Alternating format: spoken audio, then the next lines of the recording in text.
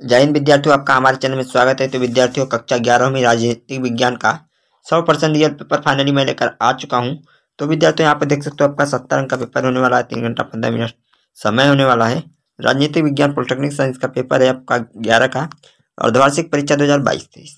यहाँ पर देख सकते हो आपका इक्कीस क्वेश्चन, आपको तीन पेज और आपका रोल नंबर।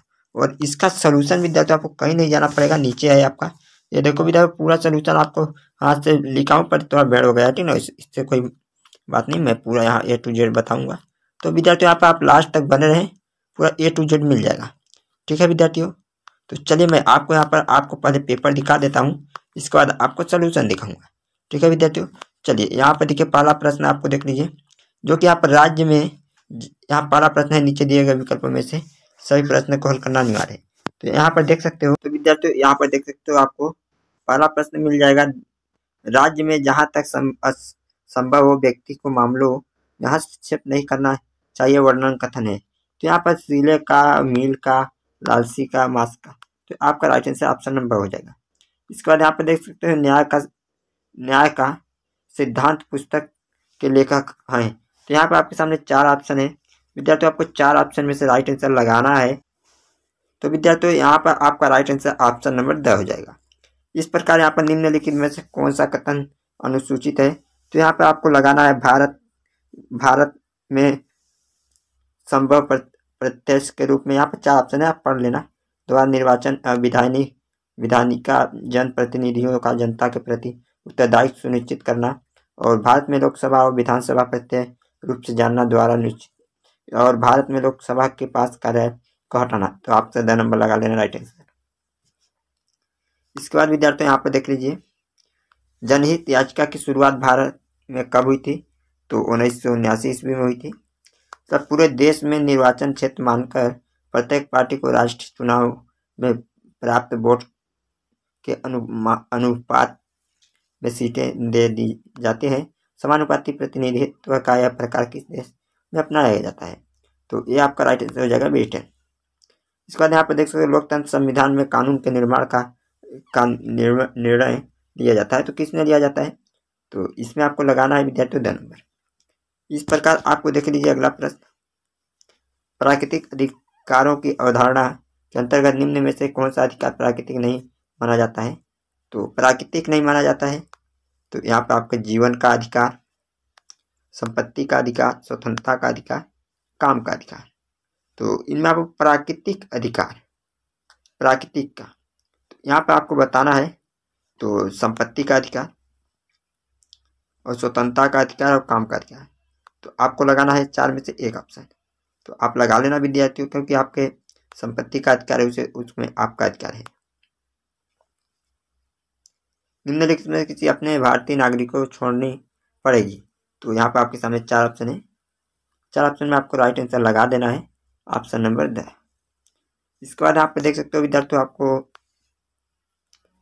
नीचे वर्ण रिक्त स्थानों की पूर्ति करना है, जो कि समाज में अवसरों की असमानता होने से खाली स्थान असमानता में पैदा होती है तो आपको सामाजिक लगाना है। इसके बाद भारत में प्रधानमंत्री सरकार का खाली स्थान प्रधान है तो वास्तविक या अनौपचारिक तो यहाँ पर आपको लगाना है, जो कि आपको इसका भी उत्तर वास्तविक हो जाएगा। इसके बाद देखिए, दक्षिण अफ्रीका का संविधान दिन, दिसंबर खालिस्तान में हुआ था तो उन्नीस सौ छियानवे में प्राचीन भारतीय समाज में न्याय खालिस्तान के जुड़ा हुआ था तो धर्म से जुड़ा हुआ था। इसके बाद सम्मिलन मतलब सही जोड़ी तो सही जोड़ी तो आपको पता ही होगा, कैसे मिलाएगा तो इसका भी लास्ट में तो मिल जाएगा, ठीक है। इसके बाद यहाँ पर देख सकते हो विद्यार्थियों, नीचे वर्ण लघुत्री प्रश्न, उत्तर आपको दस से बीस शब्द में देना है, जो कि यहाँ पर बारह रहेंगे। प्लेटो के अनुसार न्याय क्या है? तो इसका उत्तर विद्यार्थियों में प्लेटो के अनुसार न्याय क्या है? तो मैं इसका उत्तर दे देता हूँ। तो विद्यार्थियों यहाँ पर देख सकते हो, प्लेटो का कहना है कि राज्य के तीन दार्शनिक शासन को सैनिक वर्ग तथा उत्पादन वर्ग द्वारा अपने अपने कार्यों का समुचित निर्वाह और पालन करना ही सामाजिक न्याय है। प्लेटो का न्याय संबंधी धारणा विशिष्टीकरण के सिद्धांत पर आधारित है। प्रत्येक व्यक्ति को ले केवल एक ही ऐसा कार्य करना चाहिए जिसे संभवतः अनुकूलन हो। इस प्रकार पहला का हो गया। इसके बाद विद्यार्थियों, दो नंबर संसदीय कार्य प्रणाली वाले किन्हीं दो देशों के नाम लिखिए। तो दो देशों को नाम हो जाएगा। तो विद्यार्थियों, आपको यहाँ पर लगाना है संसारी संसदीय प्रणाली वाले इंग्लैंड, भारत, जर्मनी, जापान। बहुत सारे देश हैं, पर आपको इनमें से दो लिखना है। तो आप जर्मनी भी लगा सकते हो, जापान भी लगा सकते हो, इंग्लैंड लगा सकते हो, भारत लगा सकते हो। मैं चार बताया, चलिए आपको दो लिखना है, ठीक है?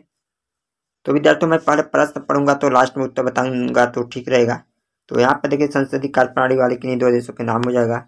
इसके बाद यहाँ पर देखिए भारतीय संविधान के किन्हीं, किन उपायों द्वारा न्यायपालिका की स्वतंत्रता सुनिश्चित की गई है, दो उल्लेख लिखना है। इसका भी उत्तर लास्ट में मिलेगा। स्वतंत्रता संबंध कार्य तथा तथा पर संबंध कार्य में एक अंतर बताना है, जो कि इसका भी उत्तर लास्ट में मिलेगा। इसके बाद यहाँ पर देखिए पाँच नंबर वास्तव, मताधिकार से क्या अभिप्राय है? इसके बाद छः नंबर देखिए, नागरिक अधिकारों को प्राप्त करने के लिए किन्हीं दो संघर्ष का नाम लिखना है। सर राजनीतिक सिद्धांत का उद्देश्य लिखना है। संसदीय के किन्हीं दो कार्यों का उल्लेखन करना है। इसके बाद आपको आता है नौ नंबर। संविधान के कौन से मौलिक अधिकार को और कितने आत्मा और हृदय से संज्ञा दी है इसके बाद पर दस नंबर, नेपाल के लोकतांत्रिक गणराज्य के लिए नए संविधान को कब अपनाया गया? यहाँ पर देखिए फ़र्स्ट फास्ट द फ़र्स्ट प्रणाली से क्या अभिप्राय है? और यहाँ पर देखिए बारह नंबर, जितेंद्र के परिवार के किन्हीं असंवैधानिक तथा विसंगत, इसको आपको पढ़ लेना है, बहुत अच्छे से लिखना है। जो कि विद्यार्थियों, अभी आपको पता ही होगा कि सी बोर्ड का पेपर बनाना है। इसलिए मैं जल्दी जल्दी आपको बता रहा हूँ क्योंकि उन लोगों का भी पेपर है, बहुत सारे स्टूडेंट कमेंट कर रहे हैं। इसके बाद देखिए, वर्णिक लघु उत्तर रात्मक प्रश्न के उत्तर लगभग सत्तर से अस्सी शब्दों में लिखना है तो इसको आपको स्क्रीन शॉट लेना है। जो भी बताना है विद्यार्थियों, मैं पूरा नहीं पढ़ रहा हूँ क्योंकि मेरे पास इतना टाइम नहीं है इसलिए तो इसको आपको जल्दी जल्दी आपको स्क्रीन शॉट लेकर पढ़ लेना है, ठीक है? तो आप देखिए, यहाँ पर पाँच छः सात, पूरा इनको पढ़ना है आपको। इसके बाद मैं जल्दी वीडियो समाप्त करना चाहता हूँ, इसलिए मैं जल्दी जल्दी बता रहा हूँ। तो यहाँ पर देखिए, दस, ग्यारह, बारह, तेरह, चौदह, पंद्रह, यहाँ पर स्क्रीन शॉट ले लो, इसके बाद मैं उत्तर बताऊँगा। इसके बाद यहाँ पर देखिए, सत्तर नंबर भी स्क्रीन शॉट ले लो, अठारह, उन्नीस, बीस, सभी को स्क्रीन शॉट लेके रखो। इसके बाद विद्यार्थियों, ये आखिरी प्रश्न है इक्कीस तक। अब चलिए विद्यार्थियों, मैं आपको पेपर का उत्तर दिखाता हूँ। ये रहा उत्तर। इसके बाद ये चार का उत्तर, ये रहा दो दो का उत्तर, ये रात तीन का उत्तर। देखिए विद्यार्थी मैं टेलीग्राम में दे दूँगा, उत्तर ठीक रहेगा। यहाँ पर नहीं बताऊँगा, ठीक है? चैनल सब्सक्राइब कर लो ताकि मैं वीडियो डालूँ तो आप तक नोटिफिकेशन पहुँच सके। आप उसका लाभ ले सकें, जो भी डाउट हो कमेंट करके पूछना। फिर मिलते हैं नेक्स्ट वीडियो तक के लिए जाए